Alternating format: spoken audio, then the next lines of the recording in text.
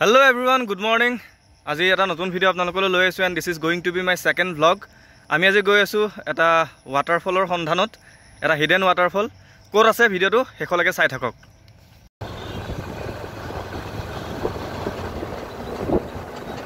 তেলটো ভৰাই লওঁ আমি। গাত লাগি যায় দেই পেট্ৰল ভৰাওঁতে।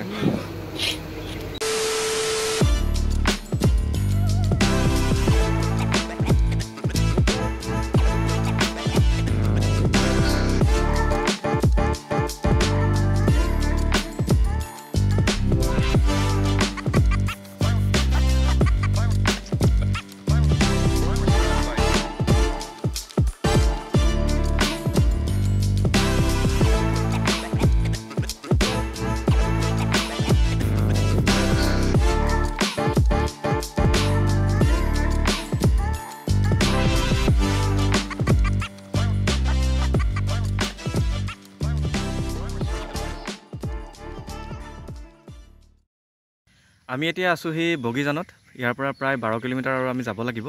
এইডোখৰ ৰাস্তা ভাল হোৱা শুনিছোঁ। কিন্তু আগৰ পৰা আমি চাগে হয়তো বাইক থ'বলগীয়া হৈ যাব পাৰে। মানে খোজকাঢ়ি যাবলগীয়া হৈ যাব পাৰে। গতিকে ভিডিঅ'টো শেষলৈকে চাই থাকক।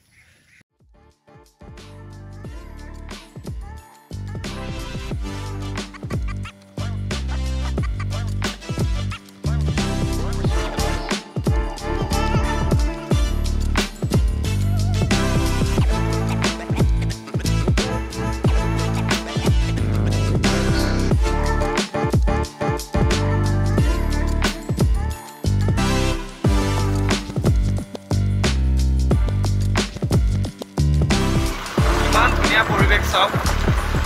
আৰু জলপ্ৰপাত নেদেখাকৈ যদি আমি ঘূৰি যাবলগীয়াও হয় তেতিয়াও মই ৰিগ্ৰেট নকৰোঁ। কাৰণ ইমান ধুনীয়া ঠাই। খুব ভাল লাগিছে।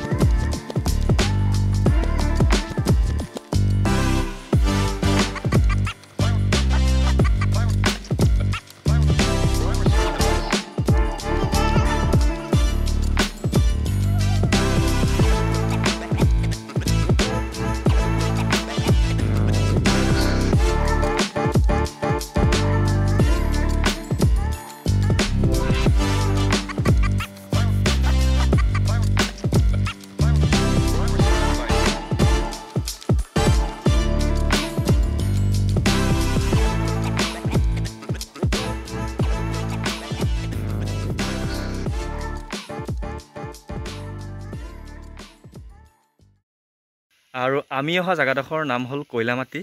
আৰু পিছফালে দেখিছে আমি এতিয়া এইফালে যাব লাগিব। ইয়াৰ পৰা আৰু কিছু দূৰ যাব লাগিব। ইয়াতে আছে জলপ্ৰপাতটো ডিষ্ট্ৰিক্ট কাৰ্বি আংলং পৰে গতিকে ইণ্টাৰ ডিষ্ট্ৰিক্ট বন্ধ আছে তথাপিও লুকাই চুৰকৈ হ'লেও আহিছোঁ জলপ্ৰপাত চাবলৈ। গতিকে ভিডিঅ'টো শেষলৈকে চাই থাকক।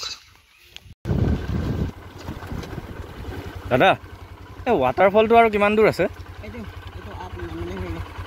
ইয়াৰ পৰা নামি? ৰাইট ছাইডে সোমাই যাব লাগিব ন? ঠিক আছে থেংক ইউ চাইনবোৰ্ড আছে ন? ঠিক আছে বাৰু থেংক ইউ আৰু আপোনালোকে যদি ৰবৰ বাগান দেখা নাই মই দেখুৱাই দিছোঁ।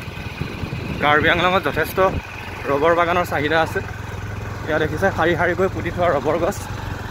খুব ধুনীয়া লাগিছে। আৰু মোৰ পাছফালে দেখিছে আপোনালোকে এটা চাৰ্চ পৰিৱেশ চাওক না কি সুন্দৰ পৰিৱেশ। মই বেক কেমেৰাত দেখাই আছোঁ।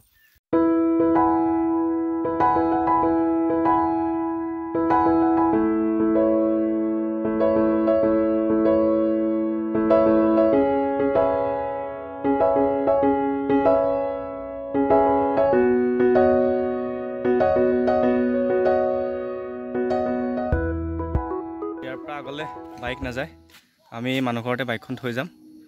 আৰু ইয়াৰ পৰা আমি যাব লাগিব পোন্ধৰ মিনিটমান খোজকাঢ়িব লাগিব। আৰু এনেকৈ আহি আহি আপোনালোকে এখন পথাৰ পাব।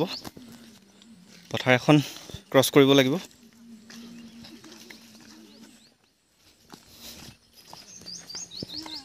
সৰু সৰু আলিৰ মাজেৰে একা বেকা ৰাস্তা কাষে কাষে পথাৰ সম্পূৰ্ণ এটা গাঁৱলীয়া পৰিৱেশ চহৰৰ কোলাহলৰ পৰা আঁতৰত। আৰু এনেধৰণৰ পৰিৱেশত আচলতে যিটো মানসিক শান্তি পোৱা যায় নহয় সেইটো আপোনালোকে ক'তো নাপায়। আৰু মোৰ যিটো আগৰ ভ্লগ আছিল তাত আচলতে ৱাটাৰফল দেখাম বুলি এটা ভিডিঅ' বনাইছিলোঁ আৰু শেষত গৈ এটা ডাঙৰ স্কেম হৈছিল আচলতে। ৱাটাৰফলৰ জেগাত এটা অকণমানি নিজৰা এটাহে দেখিবলৈ পাইছিলোঁ। আৰু আশা কৰিছোঁ আজি তেনেকুৱা ধৰণৰ আমি স্কেমৰ সন্মুখীন নহওঁ। কিন্তু দেই ভুল নকৰিব কাকচাং নহয়। আমি কাকচাঙলৈ নাই অহা। চাওক না পৰিৱেশ চাওক।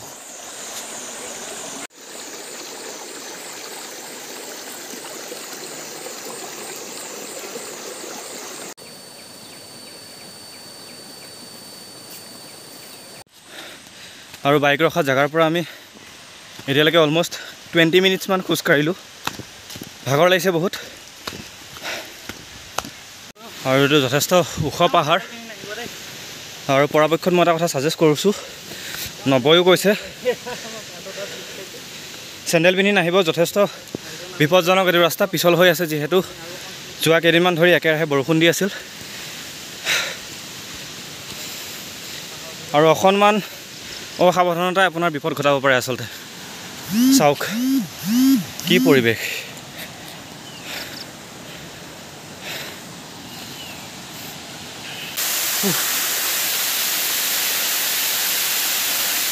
দেখাই আছোঁ।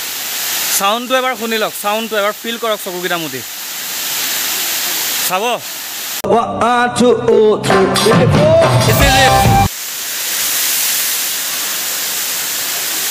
দেখাই আছোঁ বেক কেমত দেখাই আছোঁ।